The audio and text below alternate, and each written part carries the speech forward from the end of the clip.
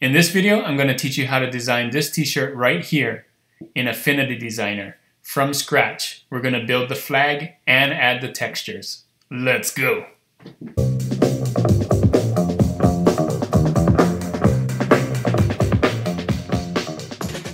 Hey everyone, thanks for joining me on this video. My name is Juno with Detour Shirts, the channel all about helping you design and sell t-shirts online. If that's something you like to do, don't forget to hit that subscribe button.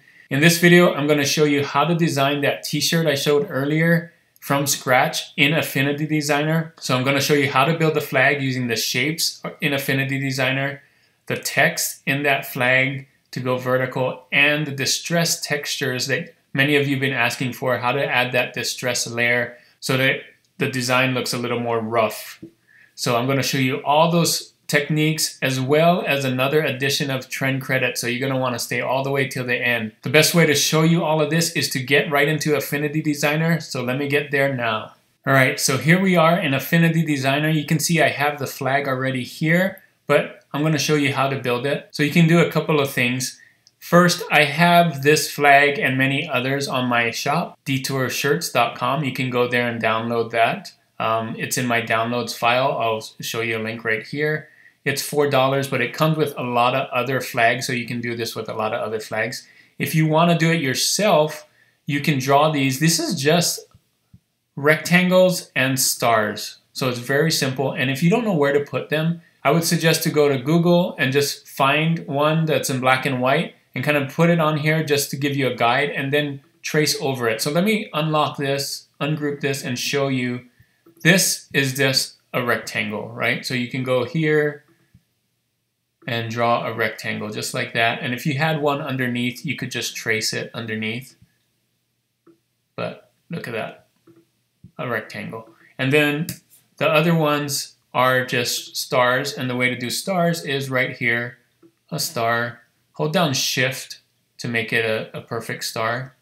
And then with your with the flag that you got from Google, you'll just put your star over here. And so that everything is vectors. So you can see all of these are just vectors now. I've grouped these stars together. They're just black. And this is just black. So everything's black. And I'm going to group all of them together, Command G, right there. So this whole thing now is grouped. And if you downloaded mine, you can just click on it and change it to black, right? So you would click on all of these. If you downloaded my version, because it's already vectors, you could just turn it to black. Whoops, that's the wrong one. Make sure to take out the white because I had it red and white, so you don't need the white ones, and you, I'll show you why later. So anyway, and of course you can just get rid of this blue right here. Just do it for you. And then select all the stars here. Right? And you're to make these black. So black, no outline.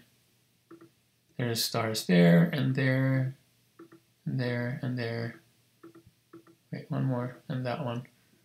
Make sure they're black and don't put the outline. So they're all black now, right? So that's exactly what I did here. You can see. So the next thing we're going to do is just turn it. So you can group the whole thing and just turn it down. Hold down shift. Now if you want the stars on the right, leave it like that. I want it on the left, so I'll do this. So it's kind of tall, so what I want to do is I want to tighten it. So the way you could do that is you could ungroup it again. So these are rectangles. So you might want to convert these to curves and I'll show you why. So convert all of these rectangles to curves now by clicking there. And now you can double click on them and select the points. So just select all these points right here and I'm just hitting the arrow tool. Basically a shirt is like that right there. So that's nice right there. So I'm gonna just leave it there. You can make you can leave it the length you want, but I wanted mine a little shorter. So that's what I did there. And the next thing I'm gonna do is I'm gonna replace this one right here with text. So I'm gonna just say American a well, I'm gonna have to make that black. I'm using impact font here because it's a bold font, and I'm going to use all caps. Um, there, whoops. Just hit space after everyone. All right. And then I'm going to center all of this. So select all, hit center align there, and then remove this one and just put American here. As you zoom in, you want to make it the right height. So that height right there and there, right? Perfect. So that's looking good already. So now the next thing I want to do is I want to put this on a black shirt. So this works well on a white shirt, but let's put it on a black shirt. But I'm going to put, make it the right size as well. So I'm going to group all of these. Oh, you also want to make sure that this is not just a font. I'm going to convert it to curves just in case. All right, so I'm going to group all of those and I'm going to bring it over to here. This is my artboard that I made 5400 by 4500. So 4500 this way, 5400 this way. So that's the size Merch by Amazon wants for t-shirts. So I'm just going to put it on here. Of course, I need to make it white and at the top so, so that you can see it.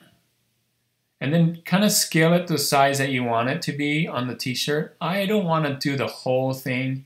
I kind of like doing it that big right there. All right, the next thing we're gonna do is add texture. So we're gonna have to find some textures that we like and I'll show you which ones I use.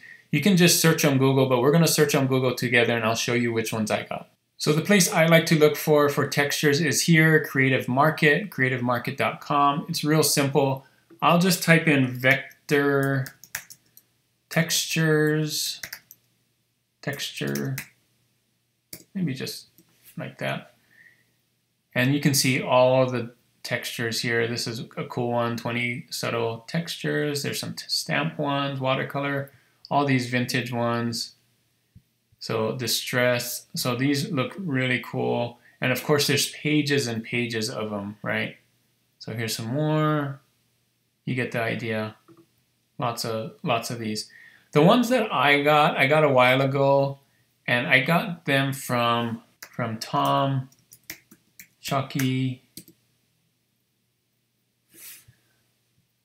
and these are the two that I got. I got this one, 41 high quality textures. Let me show you this one.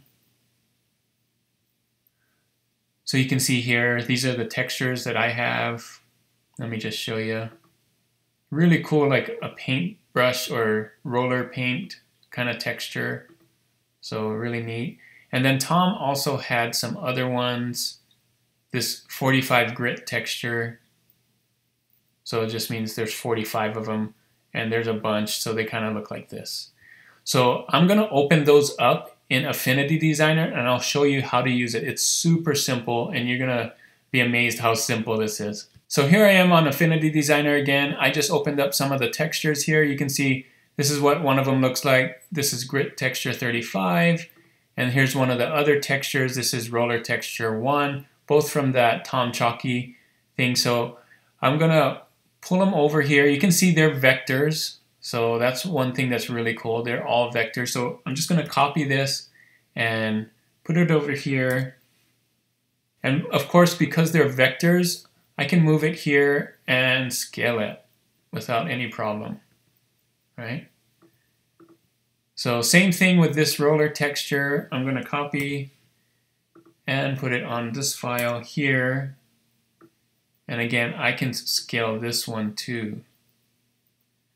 So I'm going to show you a couple of versions to do this. So for that, I'm going to move these down here. I'm just going to copy these two boards so you can see the different ways to do it. So the first way to do it is to use this texture here. I'm just going to put it over here. And that kind of looks right. I'm just going to size it.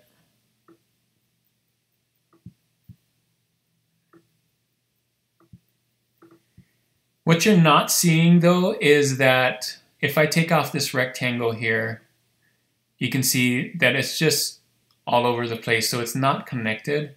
So what I want to do is connect them. So to show that, I'm going to change the color of this background so you can see the difference. There's that black on top of there. So let's do this. So we have these two. You can see the curves is this texture. I'm going to label it texture so you can see. Texture. And then I'm going to combine these two and group them. So Command G. Whoops. These two. Command G.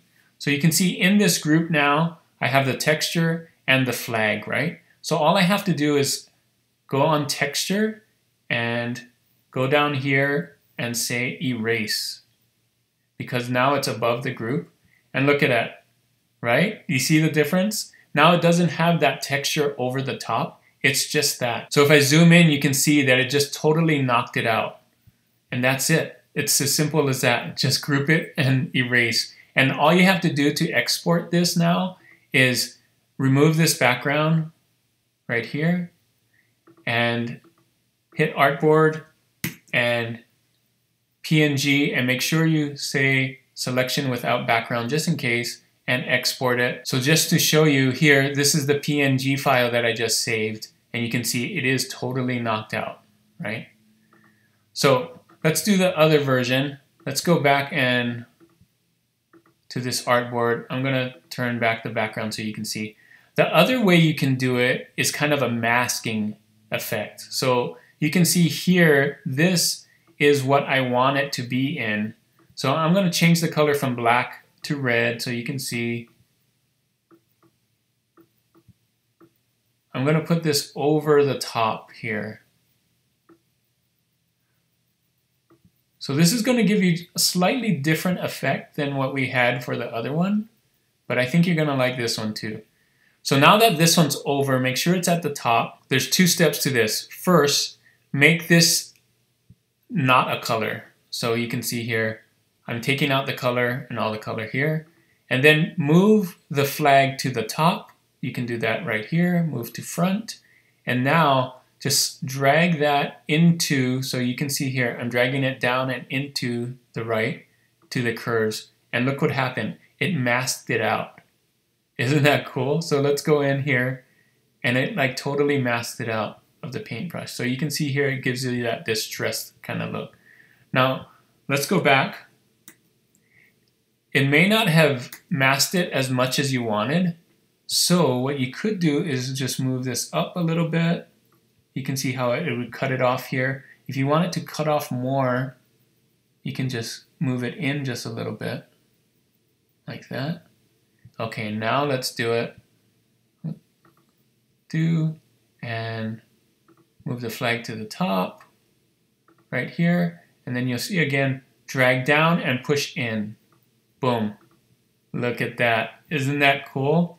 So when we save this PNG as well, you want to unselect the rectangle, hit here, and PNG again, just to be safe, selection without background, export. And you can see here, it, was, it knocked it out as well. So those are the two ways you can do it. You can mask it.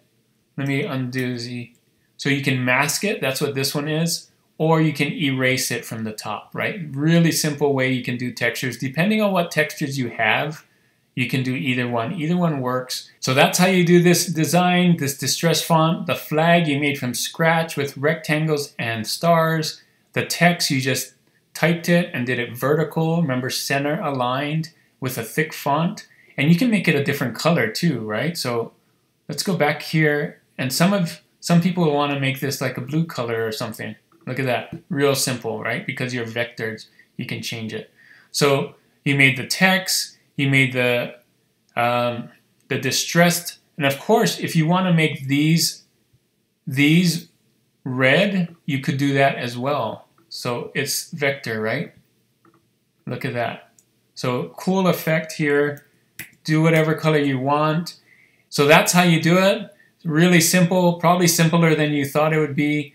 You can do this with different flags, different phrases, different distress fonts, different colors. Make it your own. Have fun with this one. Thanks for staying all the way to the end. Let me know in the comments what else you want me to show you how to design. If you have a t-shirt that you see online and like, how do I do this? Let me know. in the comments. I'll be happy to help you. Thanks for staying all the way to the end, and your reward is another edition of Trend Credits. Thanks for staying all the way to the end for the trend credits. Here is your trend Frontline Warriors shirt. Of course, here we go, Frontline Warriors. These are the ones that are helping on the front lines. You can see here on Merch Informer, it's getting an A, so you know it's good. I have the link for Merch Informer in my description here. Again, Frontline Warrior Nurse. Take a look at those BSRs right here. You can see it's very low. So you might want to do this one. This is your trend for today, Frontline Warriors. Thanks so much for staying all the way to the end. And if this video was helpful for you, don't forget to give it a thumbs up. Make sure to like and subscribe. And as always, guys, keep creating and keep learning. I'll see you on the next one. Bye.